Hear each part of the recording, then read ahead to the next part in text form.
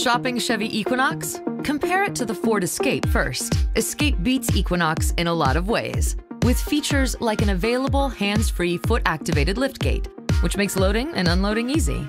Escape also has more cargo space, 68 cubic feet to 64.